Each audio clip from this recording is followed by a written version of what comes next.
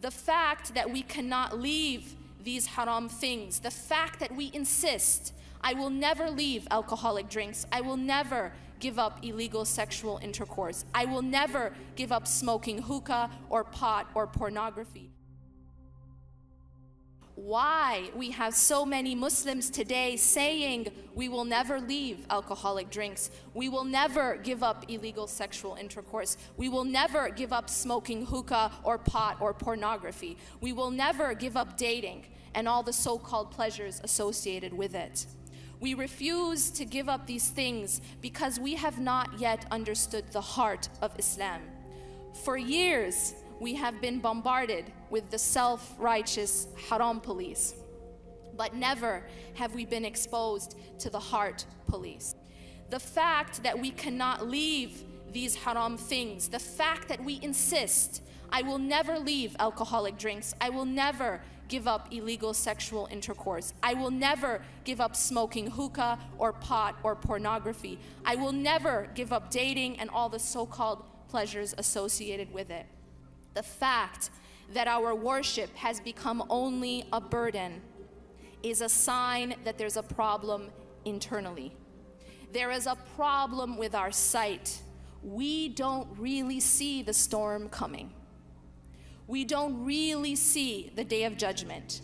We haven't purified and rectified the lump of flesh that the Prophet ﷺ spoke about. And as a result, the rest of our bodies, the rest of our actions, the rest of our lives have become corrupted. We don't really see Allah with our hearts, and we haven't built our love for Him. We haven't really used the heart for the very purpose for which it was created to know, to serve, and to love God. Remember that the first verses revealed were not about haram and halal. They were not about dating or drinking or smoking or pot.